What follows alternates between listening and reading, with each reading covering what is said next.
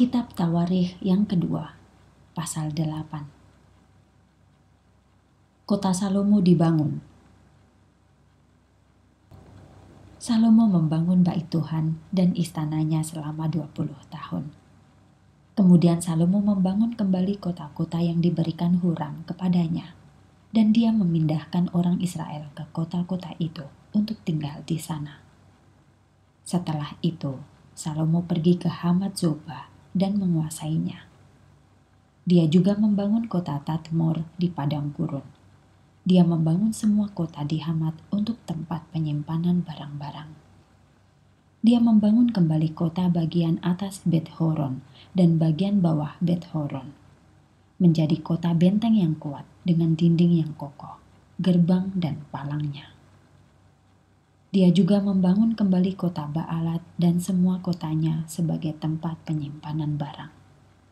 Ia membangun semua kota di mana kereta perang disimpan dan semua kota tempat tinggal penunggang kuda Salomo membangun semua yang diinginkannya di Yerusalem, Libanon, dan di semua negeri di kerajaannya. Banyak orang asing yang tinggal di negeri itu yang bukan orang Israel. Mereka ialah orang Het, Amori, Feris, Hewi, dan Yebus. Orang Israel tidak dapat memusnahkan mereka, tetapi Salomo memaksa mereka bekerja baginya selaku hamba. Mereka masih hamba sampai hari ini. Orang Israel tidak ada yang dijadikannya sebagai hamba. Mereka menjadi tentara, pegawai pemerintah, pejabat, pemimpin regu, komandan pasukan berkuda, dan pengemudi kereta perang. Dan beberapa orang Israel menjadi pemimpin dengan jabatan yang penting. Ada 250 orang yang mengawasi mereka Salomo membawa putri Firaun dari kota Daud ke rumah yang dibangunnya bagi putri itu. Ia berkata, "Istriku seharusnya tidak tinggal di istana Daud karena tempat penyimpanan kotak perjanjian Tuhan adalah tempat yang kudus." Kemudian Salomo mempersembahkan kurban bakaran kepada Tuhan di mesbah Tuhan. Dia membangun mesbah di depan serambi muka bait Tuhan Salomo memberikan persembahan setiap hari seperti yang diperintahkan Musa. Kurban dipersembahkan pada setiap hari sabat, pada perayaan bulan baru, dan tiga kali perayaan tahunan.